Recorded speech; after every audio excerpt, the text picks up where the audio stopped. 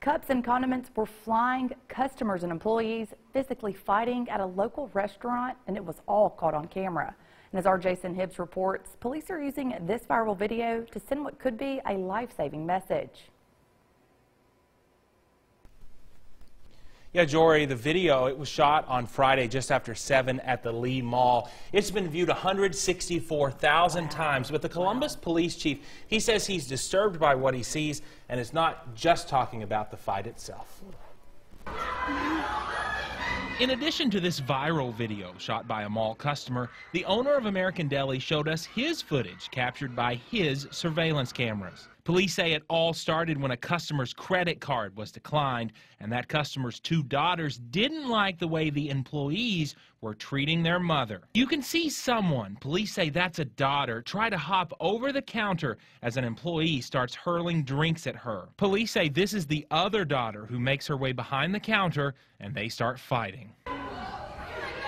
And as you can see from this cell phone video, another person is throwing items at employees behind the counter.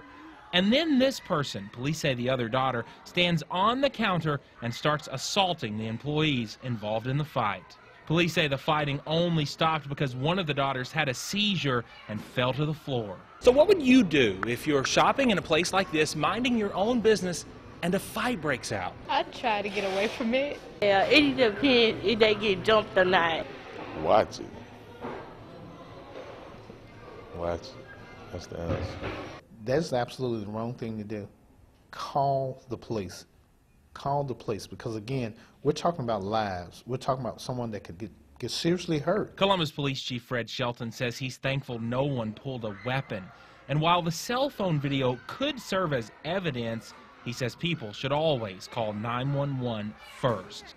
In this instance, he says someone called for an ambulance before anyone called for police. Everybody want to get it on video. Everybody want to send it around. Make the call. You can get your video, but make the call first.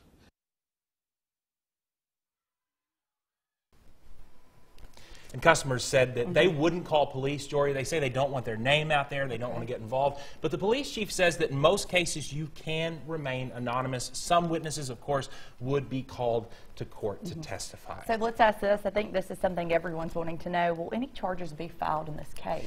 Yeah, well, the owner of that restaurant, he doesn't want to press charges. Okay. He says he just wants all of this behind him. But the police chief says that the employee could press assault charges if she wanted to. Meanwhile, police, okay. they are considering charging the two with disorderly conduct. That means a misdemeanor and a small fine. All right, well, thank you, Jason. We've also reached out to the mall manager.